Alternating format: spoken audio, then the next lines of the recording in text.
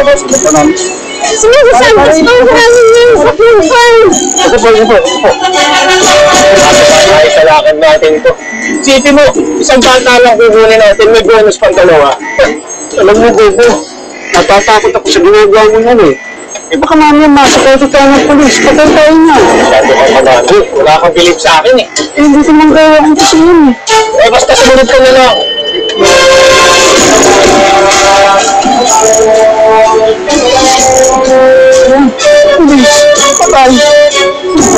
Siya yun eh? May polis dito. Oo. Tatawag na? Relax ka lang. Relax ka lang, sabi. Bumaba na dyan! Wala!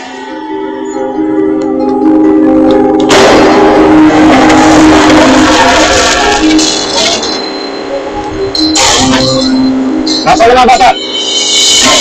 Gilas na mga bata! Ah! Mga bata! Ah! ah.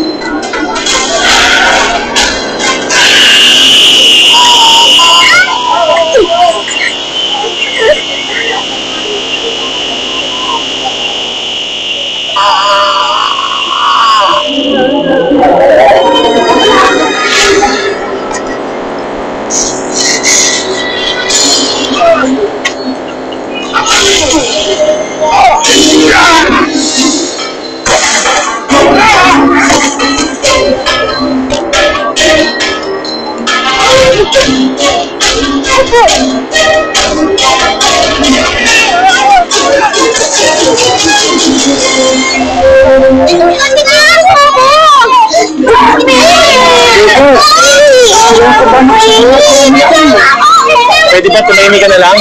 Naasar na ako sa'yo ha? Kaya sinabi hindi kabahan, kabahan.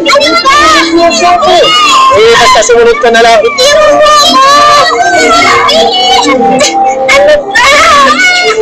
Hoy, tumahimik ka kayo dyan. Mabuti pa, i-dial mo na yung number ng magulang ito. Nang makakuha na natin yung ransom money. Sakit kaya! Hello? Hello? Okay na kayo mabuti. Nasa sa akin ang anak niyong babae ngayon. Wala kayong anak na babae? Bata po? Maliit din ang mo eh. Eh, hindi man mo sinabi ang number eh. Di ba alam? Hindi. Eh! Hello? Kayo ba ang magulang ni Patricia? Ha? Makinig kayo mabuti. Nasa sa akin ang inyong anak ngayon. Kailangan niyong maghanda ng 20 million pesos sa loob ng 24 oras kung gusto pa makita ang buhay ang inyong anak. Naintindihan niyo? Tatawag kami ulit para sabihin ko sa tayo magkikita. Naintindihan niyo? Sige. Take care. Bye.